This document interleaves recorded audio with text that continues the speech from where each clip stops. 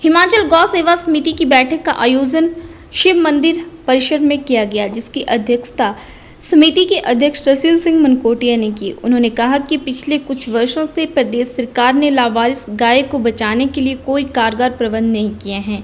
किसी प्रकार की सुविधा गौशालाओं को नहीं दी गई है। सरकार की तरफ़ से कोई सहायता गौशालाओं को नहीं मिली है। ग्राम पंचायतों ने भी गौशाला अपने स्तर पर शुरू की है। खुले में गौधन को छोड़ने वालों पर सरकार ने अभी तक कोई प्रतिबंध नहीं लगाया। बैठक में समिति के ओम प्रकाश शर्मा, सत्यपाल पटियाल, भूमिदेव शास्त्री, केशव शर्मा सहित अन्य सदस्यों ने भाग लिया। सेवा समिति की मीटिंग हमीरपुर में हो रही है। आज जितने भी यहाँ गौशालाओं के लोग आए हैं, सब इस बात से चिंतित हैं कि पिछले पाँच वर्षों में इस प्रदेश सरकार ने कोई भी काम ऐसा नहीं किया जो कि पशुधन के लाभ के लिए हो, गौशाला के लाभ के लिए हो, या किसानों के लाभ के लिए। आज हज़ारों की संख्या में गौधन सड़कों पे है। यहाँ तक कि माननीय हाई कोर्ट का निर्णय भी इस प्रदेश सरकार ने उस पर लागू नहीं किया। आज किसी भी पंचायत में सरकार की तरफ़ से कोई गौशाला नहीं खोली गई, जिससे किसानों का फ़सलों को नुकसान हो रहा है और किसानों का ही पशुधन जो है वो सड़कों पर बिखरा हुआ है। मुझे इस बात का दुख है कि आज तक की सरकार ने किसी भी गौशाला के लिए ज़मीन उपलब्ध नहीं कराई जो कि एक चिंता का विषय है। इसलिए आज इस ये गौशाला समिति जो है इस प्रदेश सरकार की जो नालायकियाँ हैं उसको हम उजागर कर रहे हैं और इसका खमियाजा आने वाले चुनावों में इस प्रदेश सरकार को भुगतना पड़ेगा।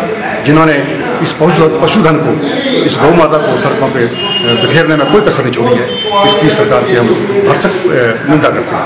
गौशाला कमेटी ने कई बार इस प्रदेश सरकार को निवेदन किया है कि जिन गौशालाओं के पास भूमि नहीं है, उन्हें सरकारी भूमि दी जाए।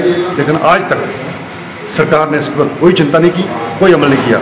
इससे उल्ट अपने पूर्व विधायकों को और वर्तमान विधायकों को जो पटे पर ज़मीन देने का निर्णय लिया है, उसका हम विरोध करते हैं। मैं अपनी ओर से ये कहूँगा कि आज तक सरकार ने किसी भी गौशाला के लिए पूरे प्रदेश पूरे प्रदेश में ना कोई अच्छा कार्य किया, ना ही किसी को कोई एड दी।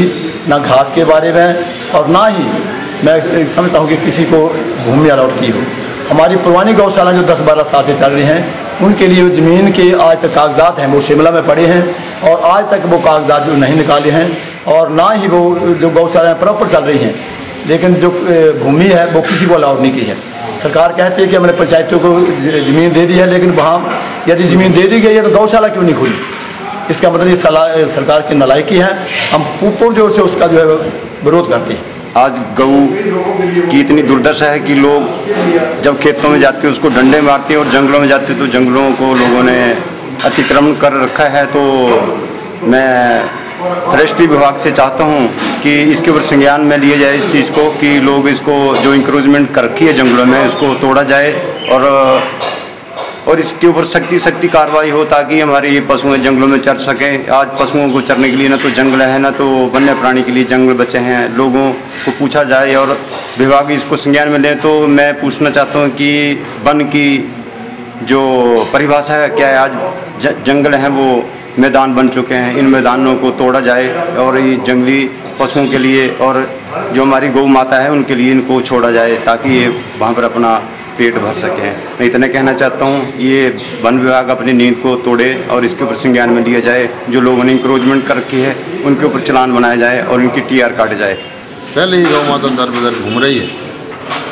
चौराहों पर, रोडों पर, हर जगह गौ माता की बहुत बुरी हालत है। इस युग में गौ माता के साथ जो अन्याय हो, वो किसी भी युग में नहीं हुआ है। गौ हमारी माता है और उसकी हमें पूजा करनी चाहिए। और पूजा करेंगे तो ही हमारा कल्याण होता है